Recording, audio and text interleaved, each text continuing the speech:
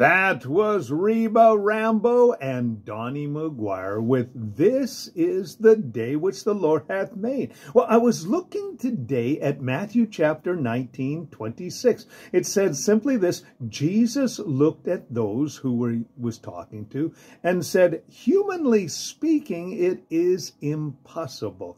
But with God, everything is possible. Now, that was the same thing that the angel Gabriel said said to uh, Mary when Mary said, Now, how's it possible that I, who have never known any man, now going to have a baby? And he said, With God, all things are possible. So just remember that today when things look impossible, when you ask the Lord in prayer, they become possible. Why? Because God can do the impossible. So that's something to think about today and to remember pastor, renowned author.